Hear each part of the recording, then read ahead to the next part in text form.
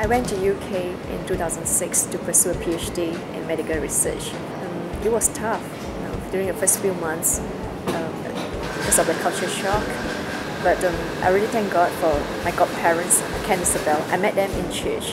They helped me to settle down in, um, in England and also helped me to be planted and rooted in church. So when I came back in uh, February 2011, um, I was immediately looking for a church Ken Isabel, they gave me the confirmations that uh, CHC KL is my home. After coming back to KL, I experienced some form of reverse culture shock. I find it really hard to adjust back my life in KL, especially uh, driving, because uh, I used to drive very slow. People, language, and also activities. At times, I feel quite lonely because um, most of the friends that I have been doing life with will stay in Newcastle.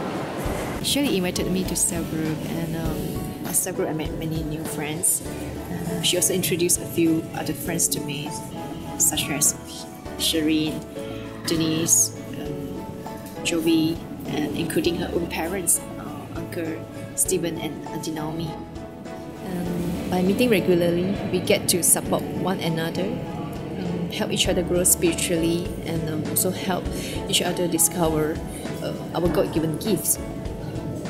Um, gave me a safe environment to connect with others in honesty and openness and this has helped to nurture and support me through different seasons of my life. In life, we need godly people who can help encourage us, support us, and empathize with us, and share godly wisdom. And I found all these people in my cell group my Cyprus fun. They are full of encouraging people. It's supportive. I love cooking and baking, and my cell groups, they are my guinea pigs.